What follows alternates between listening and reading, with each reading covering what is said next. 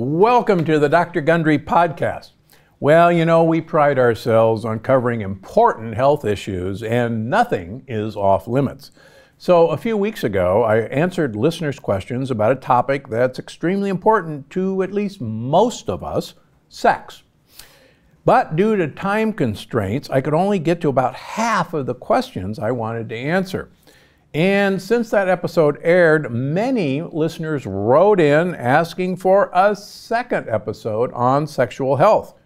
So today I'm picking up where I left off. On this encore episode of the Dr. Gundry podcast, I'll answer listeners' questions about healthy genitals, libido, and so much more. So stay tuned. You might be surprised by some of my answers, or maybe all of my answers. So, you know how to take care of your heart, brain, and gut, but your genitals are important too, just as every other part of your body. So, I'm going to share how you can keep your genitals as healthy as can be. So, here's a few questions from Instagram on that topic. I struggle with constant yeast infections. How do I deal? So, here's the deal Uh, yeast infections seem to be a very common problem with women. And first thing you have to know is that we now know that there is a vaginal microbiome, just like there's a gut microbiome, just like there's a skin microbiome. And that microbiome is actually a very important factor in your overall health if you're a woman listening.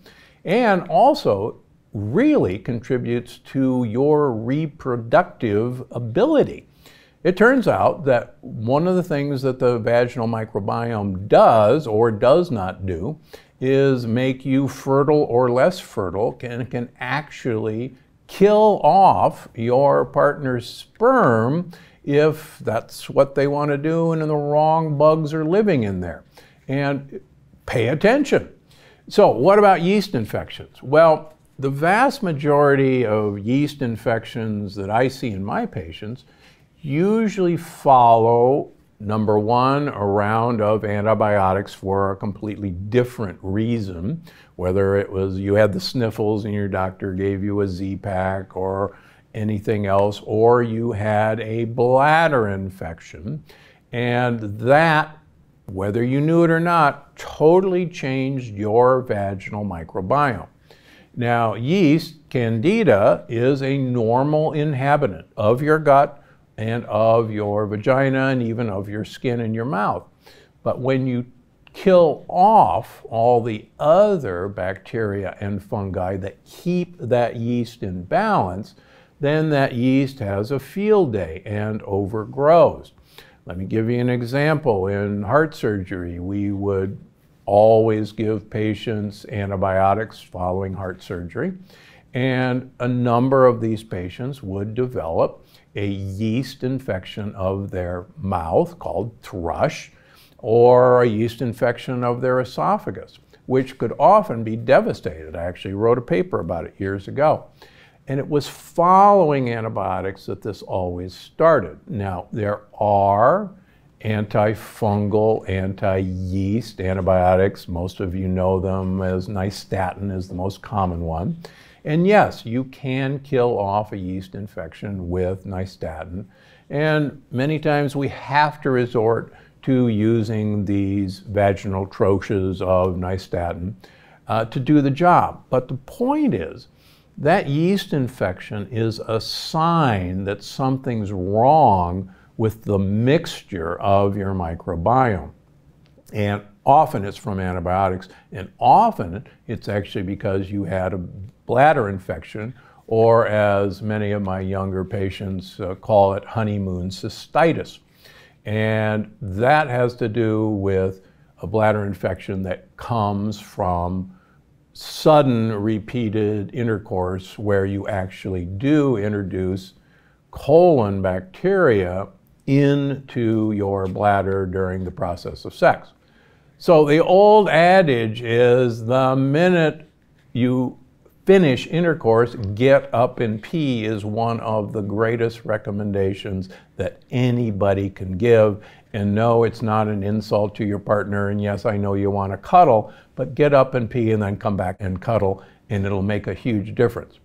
Having said that, if intercourse isn't the cause of bladder infections, I can tell you that more and more and more evidence now shows that most bladder infections, whether they're in men or women, come from bacteria in your colon migrating through a leaky gut wall directly into your bladder.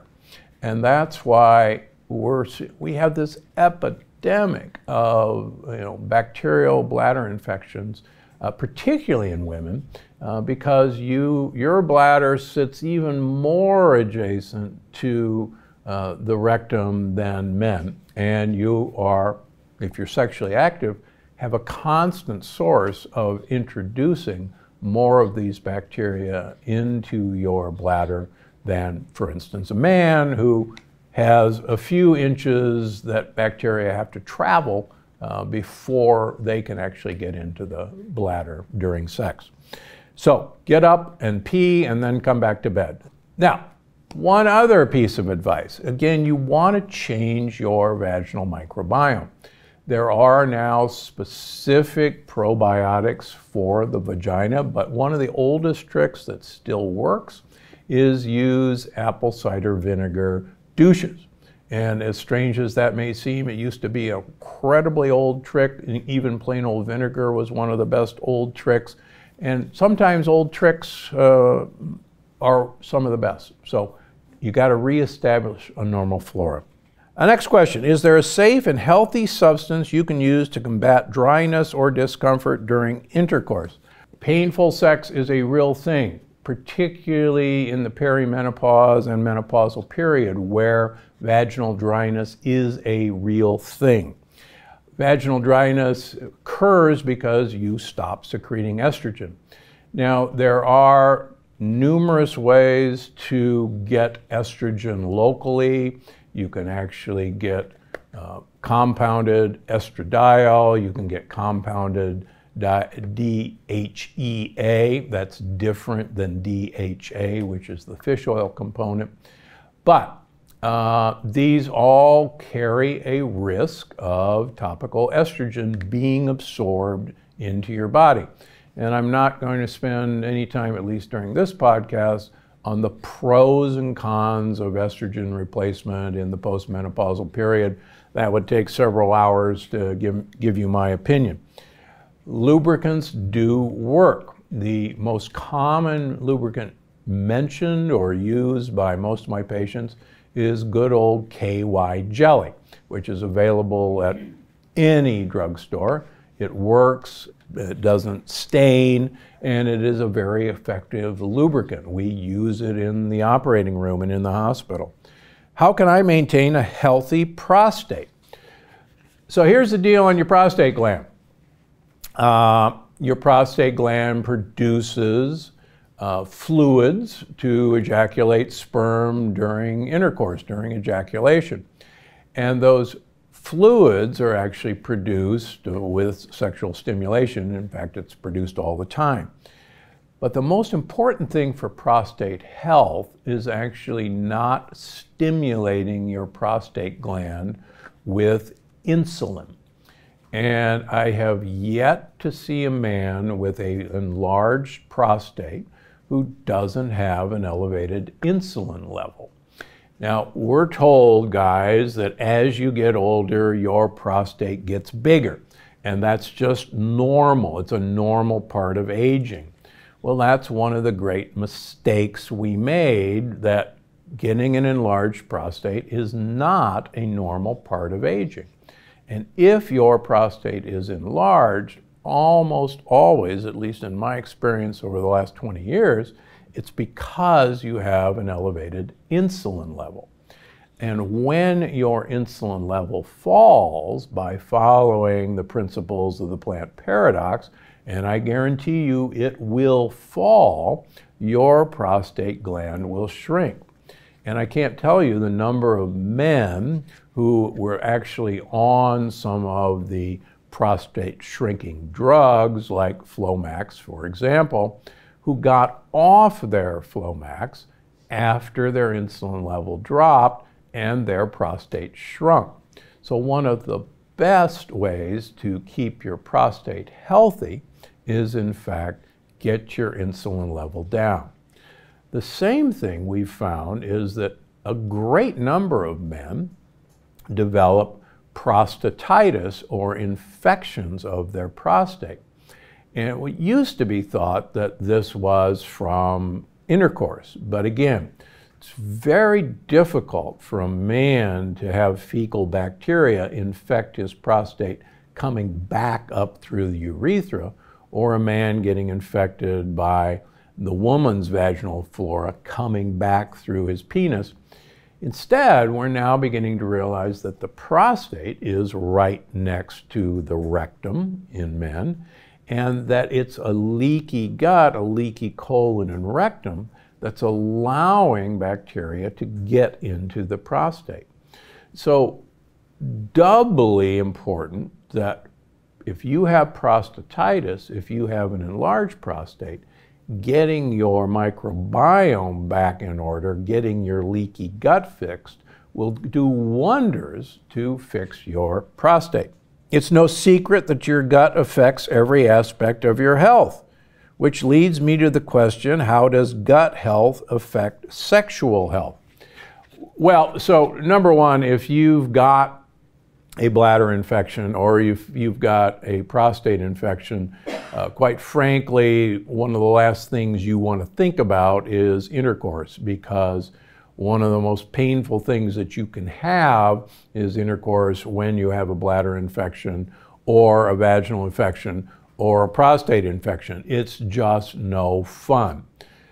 But more importantly, we know that your mood is so strongly affected by your gut health. And we know, particularly in women, that mood has so much to do with sexual desire that it's not even it's not even worth mentioning. I think all of you women listeners know that mood is really what drives your interest in sex for the most part. We've mentioned before that in general, visual cues for men is often one of the things that men absolutely have to have, but mood is far more important for women. Which actually brings me to the next question How do women get in the mood if they have low sex drive? So, uh, I see a number of patients in both my Palm Springs practice and Santa Barbara practice where they have visited who I call Dr. Feelgoods in hormone replacement therapy. And whether this is by pellets, whether this is bioidentical hormones, whether this is in shots, whether this is in prescriptions.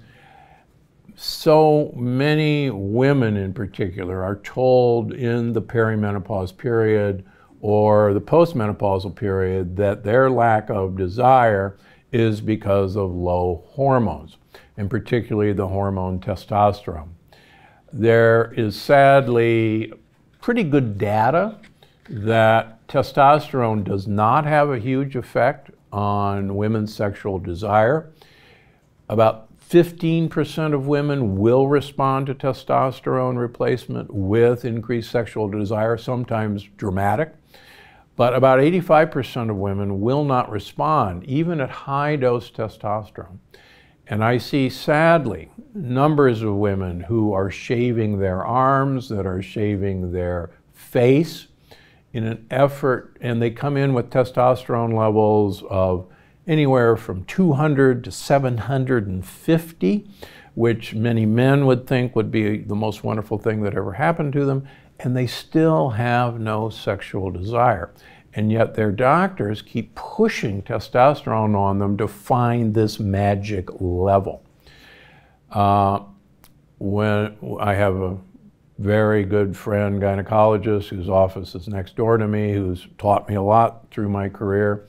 And he says without a doubt, and I've come to agree with him, that if a woman has low sexual desire, he wants to look at the social circumstances of that relationship of that marriage if it's a long term couple, how tired both individuals are, rather than looking at giving them testosterone or any other of the sex hormones.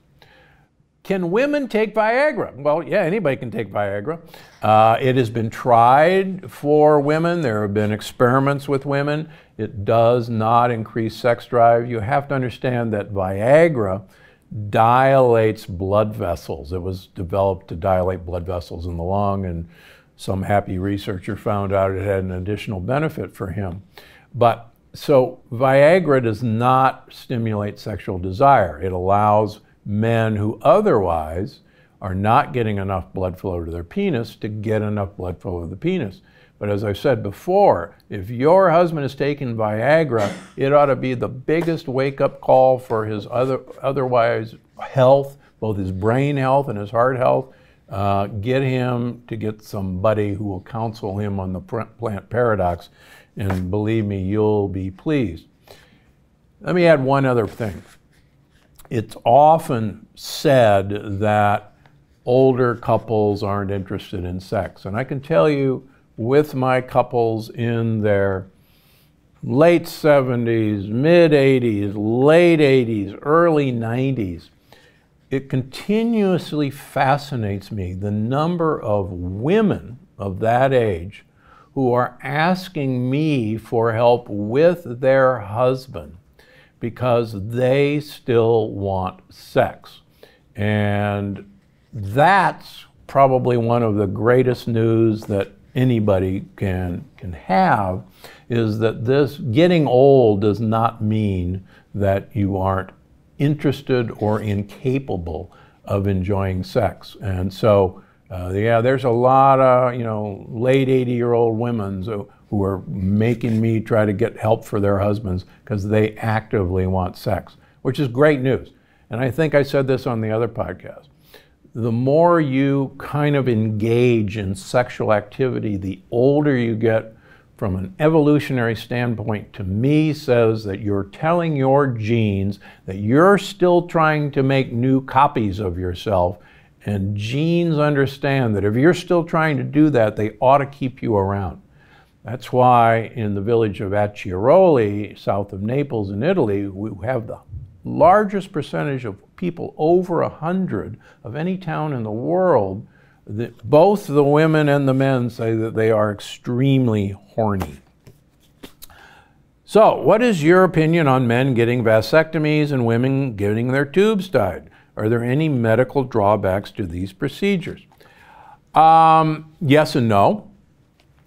The good news is that with the development of uh, microsurgical techniques, with operating microscopes, uh, vasectomies, and tubal ligations can be undone. It is not always successful. But one of the things that we all have to realize is that uh, preventing pregnancies is a two person job. It is not solely the woman's job to protect against an unwanted pregnancy. And so this is something that couples have to decide which is the best option for themselves. And we all know that all methods of contraception have drawbacks, including vasectomies and tubal ligation. But the drawbacks 20 years ago, which basically you couldn't undo these operations, are now not the drawback that they used to be. Uh, so these are options in your, you know, pregnancy preventing armamentarium. Uh, but the option of not being able to reverse it is now less and less worrisome. Okay, so that's it for today, round two. We're happy to do round three or four and, you know, keep the cards and letters coming in. But now it's time for our audience question. Arthur Levine on YouTube wrote, is it possible that since I have been following the food recommendations on the Dr. Gundry podcast, that my color blindness has decreased? Uh, you know, that is a great question. And one of the things we're learning more and more and more about eye health is first of all, there's a lot of new exciting data that glaucoma or high pressure in the eyes is most likely an autoimmune phenomenon. The other thing we're learning is that macular degeneration is almost certainly an autoimmune phenomenon in the back of the retina.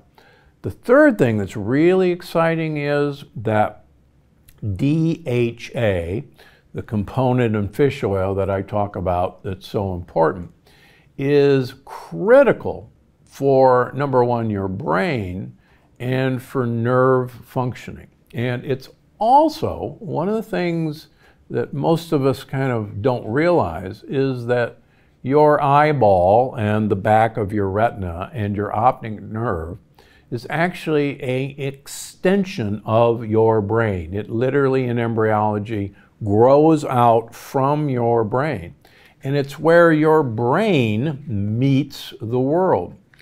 And so the effect of, among other things, fish oil and the effect of polyphenols and the effect of removing lectins from your diet will absolutely affect your eye health and your ability to see, if you will. So your observation doesn't surprise me at all. And if you look at the literature on what DHA does for eye health specifically and for retinal function, it's actually, it'll blow your mind what happens when you get more DHA for your retinal function. And that's, retina is, is what colorblind is all about. So, great question.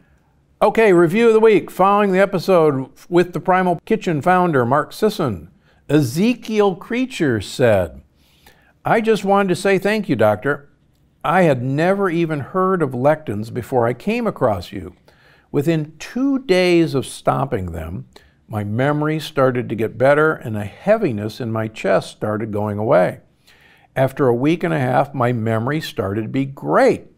I'm going to keep watching your videos. Thanks. Well, Ezekiel Creature, thanks a lot. Uh, incidentally, Ezekiel bread, as we talked about, may be one of the most harmful foods you can eat because sprouting increases lectin content. So, uh, thanks for writing in. This is why I do this. This is why the podcast is here. And it's letters like you that keep me doing this. So, appreciate the follow up, and I'm glad you're thinking better. Before you go, I just wanted to remind you that you can find the show on iTunes, Google Play, Stitcher, or wherever you get your podcasts. Because I'm Dr. Gundry, and I'm always looking out for you.